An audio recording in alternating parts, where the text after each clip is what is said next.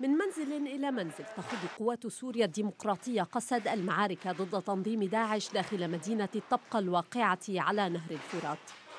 معارك لابد منها يقول قادة قسد المدعومة من التحالف الدولي بقيادة الولايات المتحدة للسيطرة على المدينة التي تضم سد الطبقة أهم منشأة استراتيجية في سوريا قبل التوجه إلى الرقة التي أعلنها التنظيم عاصمة لخلافته المزعومة. ولم يطل الأمر بقوات قسد قبل تحقيق تقدم كبير ضد داعش في الطبقة حيث يؤكد المرصد السوري لحقوق الإنسان المعارض أنه وبعد نحو أسبوع على بدء المعارك باتت قسد تسيطر على أكثر من نصف المدينة. حاليا نحن مهاجمينهم من ثلاث محاور من الجهة الجنوبية. والشرقية والغربية الجهة الشمالية الرفاق محاصرين من هناك. حررنا عايد صغير جبل عايد الإسكندرية المقابر دوار العجراوي.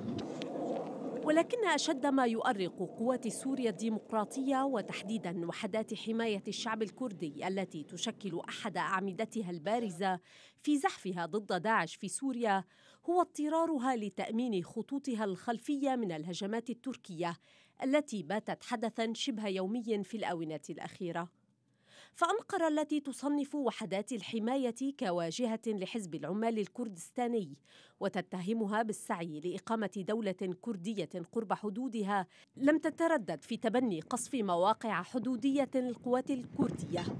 ودخلت الحدود السورية التركية في الساعات الأخيرة وسط دوامة من القصف المتبادل بين الجانبين في وقت تعهدت تركيا بمواصلة عملياتها ضد الوحدات. سنضطر إلى مواصلة هجماتنا ضد وحدات الحماية الكردية مثل ما فعلنا في سنجار وقرشوك.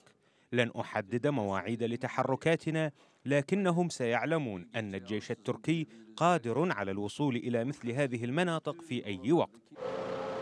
موقف قد يدق إسفينا جديدا بين أنقرة وواشنطن التي بدأت بنشر قوات أمريكية عند الحدود السورية التركية الواقعة بين مدينتي المالكية وعين العرب كوباني شرق سوريا.